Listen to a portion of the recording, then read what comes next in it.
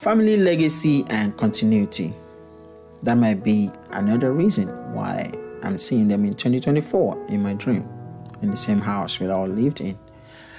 The dream could reflect thoughts about family continuity, legacy, and my role in the ongoing story of my family.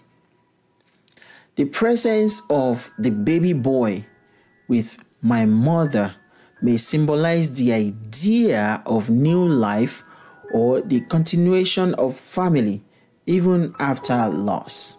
It could be a metaphor for the ways in which my parents' influence or legacy lives on, perhaps through me or future generations.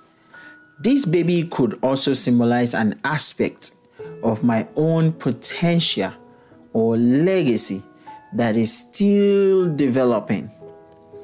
It might represent my own growth, my own projects, or ideas that still in the infancy but are deeply tied to my past and my parents' impact on me. Spiritual connection or guidance.